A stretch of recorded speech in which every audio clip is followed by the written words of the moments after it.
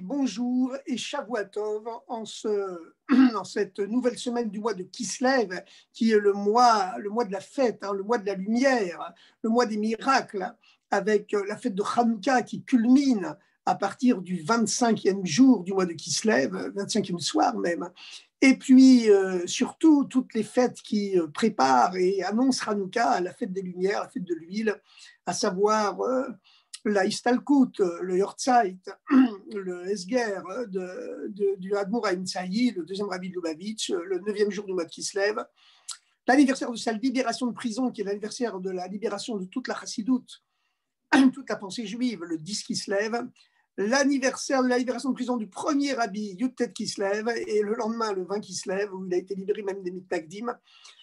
Et puis tout cela, ça culmine avec la fête des Lumières, Hanouka, la fête de l'huile, puisqu'on sait que le Mashiach, c'est celui sur lequel a été versée l'huile. Alors cette huile, évidemment, c'est le symbole, le symbole du, du cinquième sens, la cinquième dimension de la Torah. Et je vous propose aujourd'hui, à l'aide de cette cinquième dimension, de jeter un coup d'œil aiguisé et même approfondi sur quatre niveaux d'interprétation différentes de la du premier verset de la paracha de la semaine passée, mais vous savez que le Shabbat Toldot, eh bien, comme tous les Shabbatot, il illumine tous les jours qui suivent le Shabbat, tous les trois jours qui suivent le Shabbat sont encore imprégnés et illuminés par la lumière du Shabbat qui vient de s'écouler. Et puis, euh, les trois derniers jours de la semaine, eh bien, eux, ils sont déjà imprégnés de la lumière du nouveau Shabbat qui s'annonce.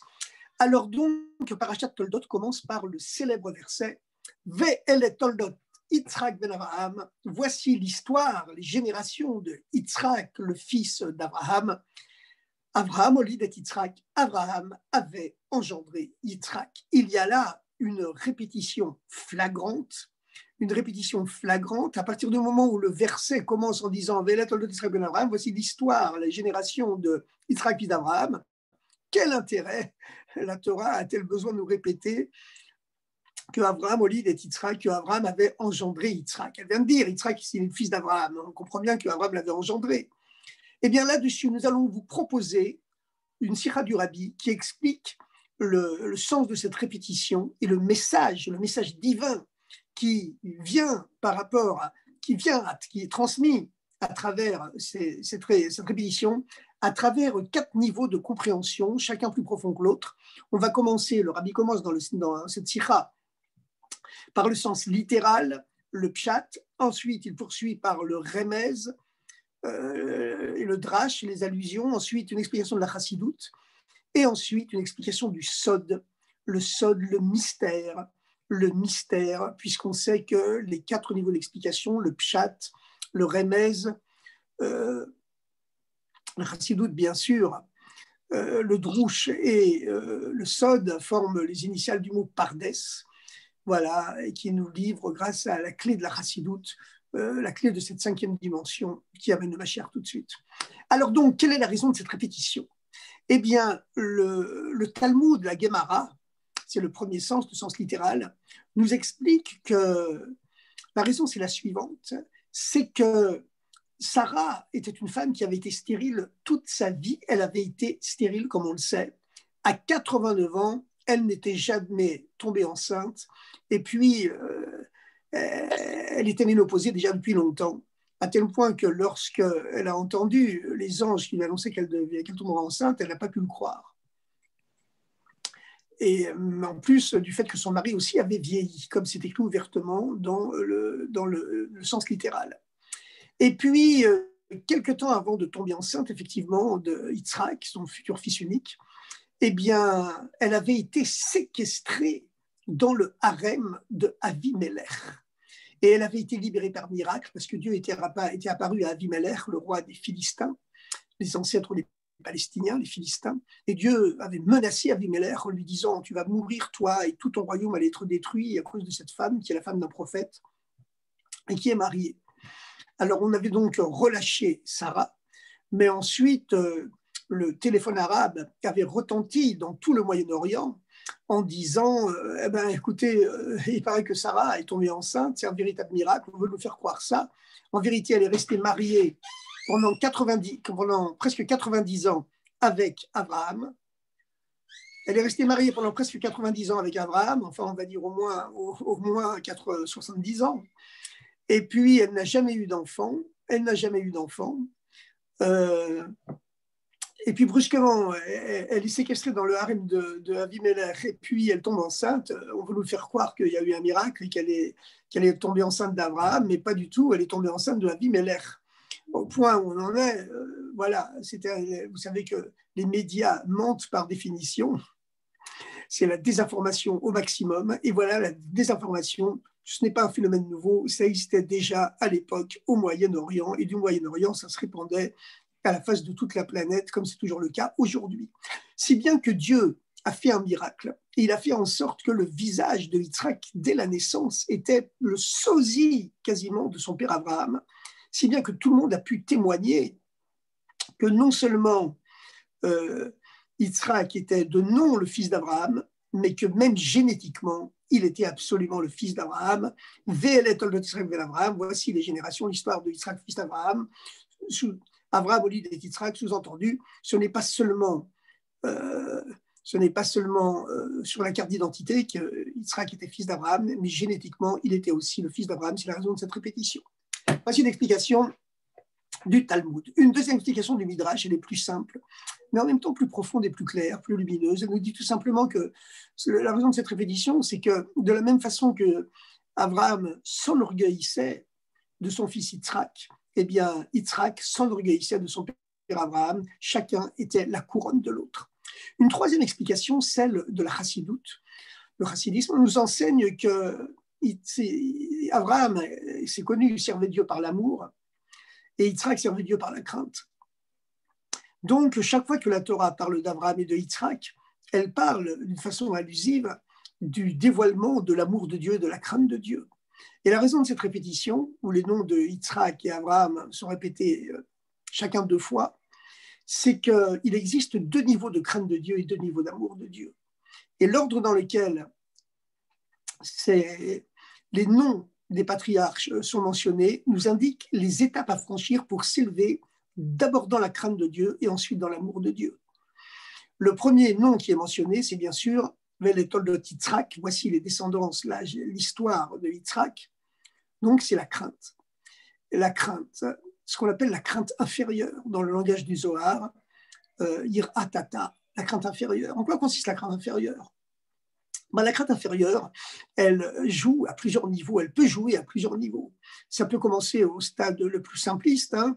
l'enfant qui euh, apprend la Torah parce qu'il a peur que sans ça, il n'aura pas sa récompense. Lui-même, il va recevoir euh, dans les temps passés, dans les temps anciens, un coup de règle de la part du Moré. Et puis, euh, ça peut aller d'un niveau beaucoup plus haut. Ça peut aller au niveau où euh, je sais que si je n'étudie pas la Torah aujourd'hui, je rate mon cours de Torah, ben je risque de le rater aussi demain. Il y a de fortes chances que je le rate aussi demain parce qu'il est écrit, si la Torah dit à l'homme, si tu m'oublies un jour, moi je t'oublierai deux jours. Donc, je vais perdre mon étude de Torah du dimanche, et ben même lundi et mardi, il y aura des événements qui font que j'aurai du mal, ou même j'arriverai pas du tout à étudier. Alors, mais toujours, c'est qu'on a peur qu'il y ait une, dimension négative, quelque chose de négatif qui résulte de son attitude. Ça peut aller jusqu'à un niveau très très haut. Je ne peux pas, euh, je, peux, je, je, je, suis obligé de donner beaucoup d'argent à la Tzedaka aujourd'hui parce que euh, j'ai peur que sinon, la semaine prochaine, je donnerai moins de Tzedaka. Voilà, donc ça peut aller même à des niveaux beaucoup plus hauts que ça en spirituel. Mais en tout cas, c'est toujours qu'il y a une crainte que quelque chose de négatif ne survienne à cause de cela. C'est ce qu'on appelle ir atata, c'est la première démarche dans l'élévation euh, spirituelle. Et puis ensuite, le deuxième nom qui est mentionné, c'est le nom d'Abraham, bien sûr. Il est écrit Veletolot Yitzhak de l'Abraham. Voici l'histoire de Yitzhak, le fils d'Abraham. C'est le niveau premier de l'amour, à savoir ce que le Zohar appelle euh, Ahavazuta, le petit amour. En quoi consiste le petit amour? Eh bien, le petit amour, c'est quelqu'un qui aime Dieu de façon intéressée. C'est pas de sa faute, il aime Dieu. Pourquoi il aime Dieu? Ben, Il a des raisons concrètes d'aimer Dieu. Il a des raisons concrètes d'aimer Dieu. Voilà, il a une femme magnifique, des enfants merveilleux, une maison formidable, il gagne beaucoup, beaucoup d'argent, il est en parfaite santé, tout le monde est heureux autour de lui. Donc Dieu lui donne tellement de bienfaits, il ne peut qu'aimer Dieu, ce Dieu qui lui donne tellement de bienfaits, il le remercie tous les jours et il l'aime, comme on aime celui qui nous fait du bien, c'est normal. Il y a un niveau beaucoup plus haut, bien sûr. c'est le tzaddik, le grand chassid ou le tzaddik qui a des dévoilements de Dieu, il goûte les plaisirs spirituels qui sont infiniment plus forts, plus puissants que les plaisirs matériels. Il y a l'essence de son âme qui se dévoile dans, sa, dans son cœur, dans sa poitrine. Il est pris d'une véritable transe mystique. Il, est, il éprouve l'extase qu'on appelle Tanuga Elion, le, le, plaisir suprême. Vous savez, on dit que tout, le, tout, le, tout l'être humain est considéré comme, comme un cosmos miniature, un cosmos, miniature eh bien, euh, comme dans l'être humain, vous voyez, il y a la nourriture qu'on absorbe et puis il y a les déchets. C'est comme ça au niveau du cosmos entier. Alors, au niveau du cosmos entier, il y a les plaisirs spirituels et puis il y a les déchets des plaisirs spirituels, c'est les plaisirs matériels eh bien, de la même façon que chez l'être humain, il y a la nourriture, que, les belles pommes, les beaux fruits qu'il absorbe, et puis il y a les déchets qui sont rejetés. Alors, il y a les déchets qui sont rejetés, les rejets des plaisirs spirituels, ce sont les plaisirs matériels. Mais les plaisirs spirituels, quelquefois, c'est tellement intense, tellement fort, que celui qui les éprouve, il risque de quitter son corps. C'est arrivé plusieurs fois, on en parle, on parle dans le Talmud, à certains grands maîtres, qui, des Tanaïm, qui euh, avaient fait une ascension spirituelle, leur âme avait quitté leur corps en s'élevant dans les mondes supérieurs, et puis, euh, le plaisir avait été tellement grand là-haut qu'ils n'avaient plus supporté l'idée de revenir ici. Et puis, ils avaient fini par couper le lien avec leur corps. Et puis, ils étaient restés là-haut. Voilà, ils étaient morts. C'est le cas notamment des fameux fils de Aaron, c'est le cas le plus célèbre, dans le Ruvash, dans le Pentateuque, dans la Torah, où le jour de l'inauguration du Mishkan, eh bien, deux fils d'Aaron sont morts parce qu'ils étaient accusés d'avoir apporté un feu étranger devant Dieu. La Torah, effectivement, considère cela comme une faute, puisque lorsque Dieu permet à certaines âmes d'exception de s'élever dans les mondes supérieurs, eh bien, c'est dans le but de prendre des forces, des lumières, des bénédictions pour ensuite euh, redescendre, les redescendre sur terre et en faire partager les autres, mais pas pour en prendre, mourir d'extase devant Dieu. Alors donc, ça s'est considéré comme une faute, comme un péché. Bien. Donc, euh, le, le, petit amour, c'est celui qui aime Dieu parce que Dieu lui donne lui prodigue des bienfaits énormes, soit des bienfaits matériels, soit des bienfaits spirituels. Le, grand sadique qui a tous les plaisirs spirituels qui s'ouvrent à lui, auprès desquels les plaisirs matériels sont des déchets, ce sont des plaisirs tellement intenses que l'être humain, quelquefois, n'est pas capable de les supporter. Et donc, son âme quitte son corps. Donc, ce sadique qui aime Dieu parce que Dieu lui procure un sentiment d'extase inouï, eh bien ça aussi, c'est ce qu'on appelle le petit amour. Euh, comme la crainte, il joue à plusieurs niveaux, mais ça reste quand même au stade euh, de la petitesse, parce que finalement, ça reste intéressé. Le troisième nom qui est mentionné dans le, verset, c'est le nom d'Abraham qui, qui, revient. Le nom d'Abraham est mentionné donc en deuxième et en troisième. Voici l'histoire de Yitzhak, fils d'Abraham. Abraham, relié d'Yitzhak, avait engendré Yitzhak. Et ça, c'est le niveau du grand amour, comme le Zohar l'appelle Havaraba, le grand amour. En quoi il consiste ce grand amour de Dieu? Bah, Il est complètement désintéressé. Voilà. C'est illustré par la fameuse histoire du Baal Tov. Une femme venait chaque année voir le Baal Shem Tov en le suppliant d'avoir une bénédiction pour avoir un enfant. Et le Baal Tov refusait à chaque fois sous un prétexte ou sous un autre. Finalement, une année, elle a tellement supplié le Baal Tov que le Baal Tov a craqué et lui a dit Bon, allez, d'accord, l'an prochain, tu auras un enfant. Mais lorsque la femme toute heureuse quitte enfin euh, le bureau du Baal Tov, eh bien, euh, un, messager céleste apparaît au Baal Shem Tov et lui dit Sache que dans le grand plan euh, cosmique de la création, pour des raisons que seul Dieu sait, cette femme ne devait pas avoir d'enfant. Tu as bouleversé tout le plan de la création du monde, tout le plan cosmique de la création. Eh bien, pour cela, Dieu t'enlève ton monde futur. Et le Tov s'est mis à danser de joie en disant Ah, quelle chance, maintenant je vais pouvoir servir Dieu sans aucun espoir de récompense. Voilà, c'est le niveau de l'amour pur, complètement désintéressé. Mais, mais, quand on aime, eh bien, euh, l'union avec Dieu n'est quand même pas tout à fait parfaite, parce que pour aimer, il faut être deux. Il y a l'ego du tzaddik, même si c'est un ego complètement divin, mais il y a un ego qui se dévoile à l'intérieur de soi et qui aime, même s'il est complètement désintéressé. Si bien que ce n'est pas encore le plus haut niveau. Le plus haut niveau, c'est le nom de Yitzhak qui est mentionné en quatrième, à la fin du verset.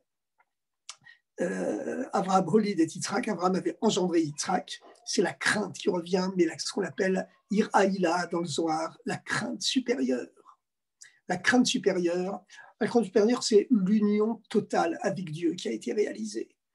le, ce n'est pas l'important, ce n'est pas ici l'amour de Dieu que l'on ressent, mais c'est un sentiment de, au-delà de l'amour, au-delà de l'amour, comment pourrait-on ne pécher ou ne pas faire le bien alors qu'on a une telle conscience de la grandeur du Dieu qui nous habite qu'on est totalement unis avec Dieu. Voilà, ici l'ego a complètement disparu. Et donc c'est le niveau le plus haut. Et euh, donc la chassidoute nous enseigne les quatre étapes, comment y arriver, en commençant par le niveau le plus bas et en arrivant au niveau le plus haut. Commençons par euh, la crainte inférieure, et puis en gravissant les étapes, la deuxième étape, c'est, euh, comme on l'a dit tout à l'heure, le petit amour, l'amour intéressé, et puis ensuite le grand amour, l'amour pur désintéressé, et ensuite la crainte suprême, Iraïla, ou qui résulte de la fusion totale, de l'union totale avec Dieu, qui sécrète une conscience telle qu'on est totalement habité par euh, la présence du divin et, que voilà, il est hors de question, il est même inimaginable de faire autre chose que la volonté de Dieu. Et puis, il y a aussi donc, euh, il y a une autre explication nous voulons donner donc trois explications. L'explication euh, du sens littéral, le Talmud, l'explication du Midrash, des allégories, et puis euh, nous avons donné aussi maintenant l'explication de la Chassidoute. Il y a une quatrième explication qui est celle du Zohar. Que dit le Zohar? Le Zohar explique que chaque fois que la Torah mentionne le nom d'Abraham, eh bien, cela désigne l'âme. C'est une allégorie de l'âme, de l'aneshama. Et chaque fois que la Torah parle de Sarah, eh bien, c'est une allégorie du corps. Et euh, Yitzhak, qui vient du mot tzrok, c'est une allégorie du plaisir, puisque tzrok signifie la joie, le rire, le plaisir. Et comme Sarah s'est exprimée à la naissance de Yitzhak, kol, kol, kol tout celui qui entend cette nouvelle, qu'à 90 ans j'ai eu un fils, il ne pourra pas se retenir de pousser un éclat de rire de joie. Et il est dit que lorsque Yitzhak est né, il y a une, une lumière de joie qui s'est exprimée dans le monde. Les aveugles ont retrouvé la vue, les paralytiques ont recommencé à marcher. C'était, euh, elle a apporté le bonheur, cette naissance de la joie, le troc au monde entier. Et de là vient le mot Yitzhak, qui veut dire la joie, le plaisir au futur. Et donc, euh, le Zohar interprète ainsi le verset suivant Voici l'histoire, voici l'histoire, voici les générations au sens de l'histoire au sens du voici le futur, voici le destin de, de, Yitzhak, fils d'Abraham, le, plaisir qui est le fils de l'âme. Ça veut dire qu'il est le fils de l'âme? Puisque Abraham symbolise l'âme. Eh bien, c'est que le, fils, c'est le futur du père, son avenir. Donc, euh, voici l'histoire, la génération, l'histoire du plaisir qui attend l'âme, qui est le futur de l'âme, qui, arrivera un jour dans l'avenir à l'âme. Mais d'où lorsqu'il y aura le dévoilement du Mashiach et la résurrection des morts. Mais comment pourra-t-on arriver à ce niveau-là, à ce niveau où l'âme connaîtra à ce moment-là un plaisir euh, complètement, complètement inouï, eh bien, ça vient par le fait que Abraham, l'âme Holid et avait engendré Yitzhak, elle avait engendré ce plaisir. Par ses, réincarnations successives dans les corps, par sa pratique de la Torah et des mitzvot, par le fait de faire du bien autour de soi, etc., etc., de prier, d'étudier, d'accomplir le bien. Alors, vous savez que selon les générations, euh, l'importance de la mitzvah, la mission, dépend de la mission de chaque génération. Dans les générations anciennes, où c'était les âmes du cerveau cosmique de Adam, le premier homme qui s'incarnait dans le monde, l'essentiel c'était l'étude de la Torah. Lorsqu'on est arrivé euh, à la fin du Moyen Âge, à l'époque du Harizal, le grand kabbaliste de Tzfat, au 15e, 16e siècle, le Harizal a expliqué qu'on était descendu du niveau du cerveau au niveau du cœur de Adam, le premier homme, et c'était les âmes du cœur de Adam qui s'incarnaient, et par conséquent, le, la mission essentielle, c'était devenu le service du cœur, c'est-à-dire la prière. À notre époque, déjà depuis euh, deux siècles, hein, on s'approche déjà de l'avenue du Mashiach, eh bien, les âmes qui s'incarnent à notre époque, ce sont les âmes des talons de Adam Arishon, c'est-à-dire que l'essentiel aujourd'hui, c'est de faire marcher ses talons, ses pieds, la plante de ses pieds même, de marcher pour aller accomplir des mitzvot, c'est-à-dire la tzedaka, qui est la mitzvah matérielle par excellence. Tzedaka qui euh, peut être matérielle, mais aussi spirituelle, puisqu'on vit une époque où, grâce à Dieu, sur le plan matériel, souvent les Juifs sont dans une certaine aisance, grâce à Dieu, par rapport au reste du monde. Mais par contre, en spirituel, c'est plutôt une famine généralisée, une sous-alimentation chronique qui est devenue majoritaire depuis déjà pas mal de temps. Donc aujourd'hui, la tzedaka est importante en matériel et aussi, bien sûr, encore plus à notre époque, en spirituel. Mais en tout cas, c'est la tzedaka qui est le plus important. Mais bon, euh, donc, par le fait que l'âme, Abraham, justement par le fait qu'elle s'incarne dans un corps pour pratiquer la tzedaka, pour pratiquer l'étude, pour pratiquer la prière, eh bien, Abraham, au lit des elle fait, elle engendre ce plaisir dont elle recevra le fruit plus tard. Alors on voit cette relation que Abraham c'est l'âme et que Sarah c'est la, c'est la neshama, c'est le corps. On l'a vu dans une paracha précédente. Hein. On l'a vu dans la paracha de Sarah tout au début, où le Zohar, qui est le, sens profond, le secret de la Torah, interprète euh, l'enterrement de Sarah comme l'enterrement du corps. Et euh, en effet, le Zohar interprète ainsi le premier verset de la paracha de Sarah qui dit euh, euh,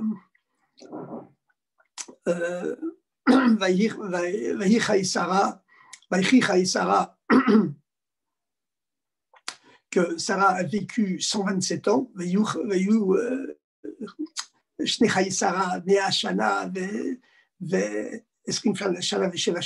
les, jours de la vie de Sarah furent de 127 ans et, et elle fut enterrée à Kiryat Arba, dans la cité des quatre, à Hebron, à Hébron. Euh, la cité des quatre, dit le Zohar, c'est une allusion aux quatre éléments, le feu, l'air, l'eau et la terre, qui composaient le corps de Sarah. Et tant que Sarah était vivante, tant son corps était vivant, ils étaient Hebron, vient du mot chibour, uni, union, raver, ami. Euh, ils étaient unis, ces quatre éléments en elle, pour créer une entité vivante, un corps vivant. Eretz Canaan, continue le verset, dans la terre de Canaan. Maintenant que le corps est mort, eh bien, les quatre éléments qu'il compose vont se dissoudre dans la terre de Canaan. Le verset continue en disant Abraham Abraham s'éleva, une curieuse tournure euh, dans le sens littéral, Abraham s'éleva de la face de sa morte, ce qui signifie qu'Abraham, qui symbolise l'âme, s'élève et que le corps seul meurt. Euh, le verset continue en disant euh, Abraham s'est élevé de la face de sa morte, l'âme s'est élevée euh, l'ispod et Sarah Velivkota pour prononcer l'oraison funèbre de Sarah et pour la pleurer parce que l'âme pleure le corps après la mort du corps, parce qu'elle pouvait faire des mitzvot matérielles dans ce corps, et puis elle garde un lien avec le corps, c'est pour ça qu'elle continue de pleurer pendant un certain temps. Et qui correspondent en gros aux trois premiers jours du deuil, les trois jours pour les pleurs, ensuite les Shiva, la semaine de Shiva, pour parler, et puis ensuite les 11 jours, les 11 ans, les, excusez-moi, les 11 mois où on dit le Kaddish, et puis le dernier jour des 12 mois, où c'est le Yortzeit. Bien, mais où le deuil est terminé. Euh, croit que lorsqu'il y a un garçon qui naît dans la famille, on dit pendant euh, l'année du deuil, on est tous guéris du deuil à ce moment-là, qu'on soit tous guéris du deuil définitivement avec la venue du Machir tout de suite. Voilà. En tout cas, en tout cas, euh, Abraham symbolise l'âme, Sarah symbolise le corps, Yitzhak symbolise le plaisir. Et ce qui est important à noter, dit le Zohar, euh, c'est qu'effectivement, euh, par euh, la pratique de la Torah et des mitzvot, au cours des, réincarnations successives, eh bien, eh bien les âmes, elles, dévoilent une force divine qui, qui permettra, qui permettra le dévoilement de ce plaisir euh, qu'elle recevra, dont elle bénéficiera à l'époque, euh, à l'époque de la résurrection. Et en effet, en effet, euh, aujourd'hui, continue le Zohar, eh bien, c'est l'âme qui donne la vie au corps, mais quand Mashiach viendra, eh bien, il y aura un nouveau dévoilement tellement fort, tellement puissant qu'on se rendra compte que ce n'est pas l'âme qui donne la vie au corps, mais plus profondément, c'est le corps qui donne la vie à l'âme. À ce moment-là, il y aura le dévoilement de, l'étincelle divine qui est cachée dans les atomes du corps et qui est un dévoilement de Dieu encore plus haut que le dévoilement de Dieu qui s'exprime à travers l'âme, à travers la neshama. Et à ce moment-là, l'âme recevra le dévoilement de ce plaisir.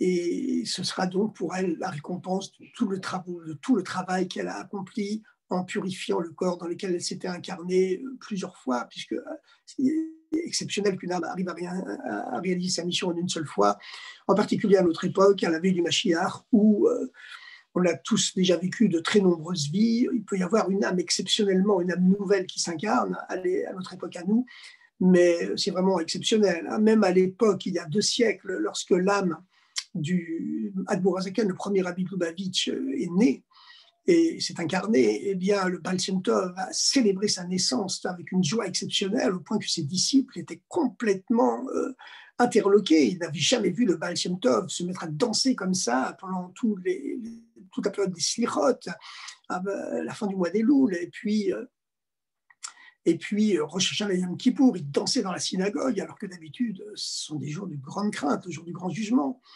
L'Akba Omer, euh, pardon, Rosh.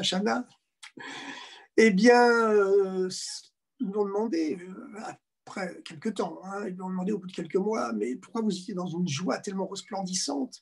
Il a répondu, eh bien, c'est parce que cette année, une âme neuve qui n'a jamais encore été affaiblie, affadie par les réincarnations, eh bien, vient de descendre dans le monde. C'était l'âme du premier Rabbi Lubavitch qui devait ouvrir une voie nouvelle dans le dévoilement de la Torah.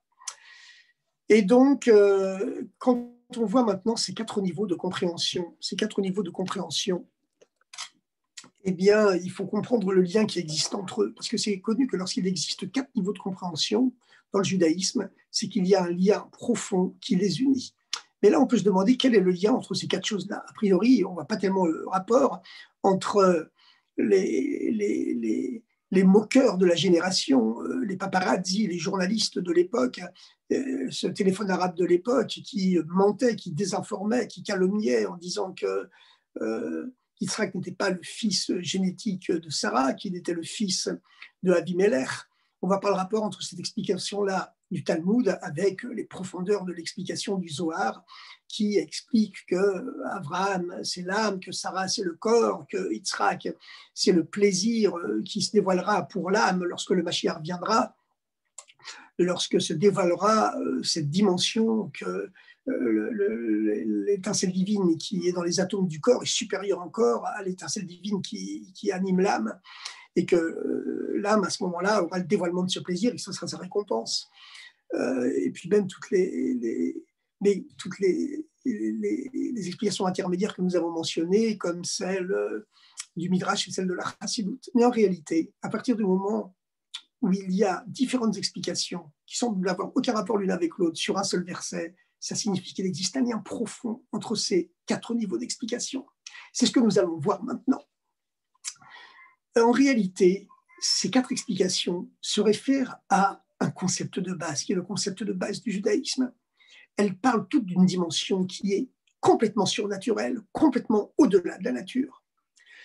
Parce que, effectivement, le fait que Sarah, qui était stérile toute sa vie, tombe enceinte à 89 ans et accouche à 90 ans, c'est quelquefois un miracle dévoilé à la face du monde entier pour signifier que le peuple juif est né du miracle. Le peuple juif n'est pas né de façon naturelle, contrairement à Ishmaël, par exemple, qui était né lorsqu'Abraham était encore jeune, et que Agar, bien sûr, était encore tout à fait jeune, qui est né donc euh, biologiquement de façon naturelle et logique. La vie des autres peuples euh, obéit à des lois naturelles et logiques, et la vie du peuple juif, elle est surnaturelle, comme sa naissance a été surnaturelle. Le, la deuxième explication, l'explication du Midrash, qui nous dit que les noms sont répétés les noms de Abraham et de Yitzhak sont répétés pour signifier que, non seulement Yitzhak se couronnait par la réputation de son père Abraham, mais que Abraham aussi s'enorgueillissait et se couronnait de la grandeur de son fils Yitzhak. C'était véritablement sa couronne, la grandeur de son fils? Eh bien, c'est quelque chose aussi qui est surnaturel. Parce que d'après les lois de l'histoire, il existe ce phénomène qu'on appelle Iridata Dorot, la chute, la descente des générations. Si les premières générations de l'histoire étaient comme des anges, les suivantes ont été comme des hommes, et si eux étaient comme des hommes, eh bien nous, nous sommes comme des bêtes, dit le Talmud. Il existe une loi des générations, la science avance, les techniques avancent, mais euh, les, âmes qui s'incarnent dans le monde sont de moins en moins hautes, de moins en moins élevées. Comme on l'a vu tout à l'heure, que les âmes des premières générations venaient du cerveau de Adam, le premier homme, et les âmes des générations ultérieures sont descendues au niveau du cœur, et que maintenant au niveau des âmes de la plante des pieds de Adam. Donc, euh, il existe une chute des générations. Et le fait que Abraham s'enorgueillissait de son fils Yitzhak, que pour, lui, son fils Yitzhak était véritablement sa couronne, c'est quelque chose de complètement surnaturel. Et donc, c'est le rapport qui existe entre cette explication du Midrash et l'explication précédente du miracle de la naissance de Abraham, de, de la naissance de Yitzhak, pardon, dont il est devenu évident pour tout le monde qu'il était vraiment le fils génétique de Abraham et de Sarah. Et puis euh, ensuite, euh, il y a l'explication de la chassidoute. La chassidoute explique comment arriver à ce niveau surnaturel. Parce que l'être humain, il est forcément intéressé, c'est sa nature. Eh bien, la chassidoute nous explique comment on peut progresser et on doit progresser de façon ordonnée. Il existe un niveau où on est obligé finalement de passer par la crainte inférieure et puis ensuite passer à un niveau supérieur qui est le petit amour, l'amour intéressé, le grand amour, l'amour désintéressé, et arriver finalement à l'union suprême, absolue avec Dieu, où euh, euh, il y a eu l'unité totale qui s'est réalisée, et à ce moment-là, euh, tout acte, toute parole, toute pensée en dehors du divin, en dehors de l'expression de la volonté divine, devient impossible parce que véritablement, on a le divin en soi, on est complètement unis, on a une telle conscience de la grandeur de Dieu qu'il est impossible de faire quoi que, quoi que ce soit d'autre. Et donc, ça, c'est arrivé véritablement à une dimension surnaturelle. Mais la Chassidoute nous enseigne petit à petit les étapes à franchir pour y arriver. Et ensuite, euh, le Zohar, eh bien, il nous explique finalement également, il nous explique finalement le but de tout cela. Le but de tout cela, le but de tout cela, c'est le dévoilement de l'essence de Dieu dans la matière, dans le monde matériel, où se dévoilera cette lumière divine, l'essence de Dieu qui est cachée dans les cellules du corps. Et vous savez, comme le rabbi l'explique, que en vérité, tout le but de la science, c'est de prouver aux êtres humains l'existence de Dieu et de tourner toute l'humanité vers, euh, vers euh, la recherche de Dieu. Et ce sera le cas finalement lorsque le Machère sera là, où tous les peuples du monde n'auront plus, plus qu'une seule préoccupation, c'est la recherche du divin, ainsi que le conclut Maïmonide le Rambam dans son célèbre code de loi, le Mishneh Torah. Et à ce moment-là, les Juifs, évidemment, seront un très haut niveau, mais toute l'humanité aussi sera un très haut niveau, puisque toute l'humanité, pas seulement le peuple juif, se mettra à la recherche de Dieu. Et la science peut déjà nous prouver ça. Par, par exemple, si on avait dit, il y a 200 ans, que dans une orange, il peut y avoir suffisamment d'énergie pour communiquer de l'électricité à, la planète entière, ou au moins à la France entière pendant une année, les gens vous auraient pris pour quelqu'un de complètement illuminé. Puis on a découvert effectivement que c'est précisément dans la parcelle la plus ridiculement petite de la matière, l'atome, que réside l'énergie absolue, l'arme absolue. Et euh, plus on va avancer, plus la science va réaliser et prouver que euh, dans cet atome, il n'y a pas qu'une énergie absolue, il y a aussi la conscience absolue, la conscience de l'absolu, et euh, c'est-à-dire la présence de l'absolu lui-même, la présence de l'essence de Dieu lui-même, comme on sait que le, le spirituel, c'est simplement un dévoilement de Dieu, mais l'essence de Dieu elle-même ne se dévoile que dans le matériel, et en particulier dans le corps humain, qui est le plus bas de tous les éléments matériels qui existent, puisque euh, la, la, la, la, de la Torah, nous explique que lorsque tous les animaux ont été créés, bah, ils étaient vivants dès leur naissance. Mais le corps humain, c'est quelque chose de tellement bas qu'il était véritablement une statue immobile tant que l'âme ne lui a pas été insufflée. Eh bien, la Chassidoute enseigne que c'est le, niveau le plus haut ne peut se dévoiler que dans le niveau le plus bas. Et c'est la raison pour laquelle ce sont les atomes du corps humain qui seront le, le lieu, le havre du dévoilement de cette, essence divine et qui euh, deviendra la nourriture de l'âme. Et c'est euh, cela que le Zohar euh, nous explique en nous, nous, faisant prendre conscience de la récompense qui attend l'âme à travers tout son travail et toute son œuvre, à travers les générations et les, réincarnations successives. Et nous sommes certains, comme le rabbi nous l'a promis, que cette réincarnation, n'importe comment, c'est la dernière, puisque nous sommes la dernière génération d'exil et la première génération de la libération.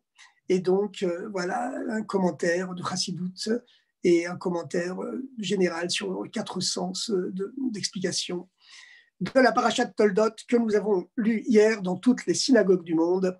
Bon euh, bonne semaine, bonne semaine, bon mois de Kislev, et euh, si Dieu veut, à la semaine prochaine. Et bonne préparation.